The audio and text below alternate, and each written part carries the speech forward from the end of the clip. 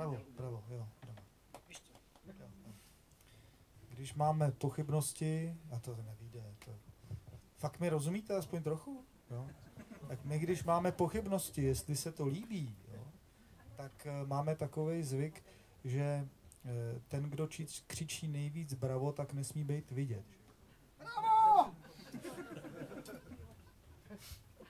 Já jsem ti asi úplně nerozuměl. Tebe se to taky netýká.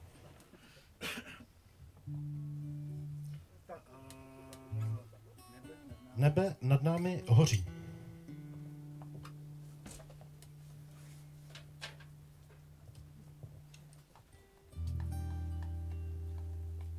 Dobrý večer. Dobrý večer přejeme. Vítejte. To je Michal. To je Martin. To je Jakub. To je taky Jakub. A tady to vzadu, to je Basák. Jsme čekali na vás. Tak můžeme začít. Výborně. Tak jdem znova. Nebude to vadit, když si to dáme znova od začátku. Ne? Dobře.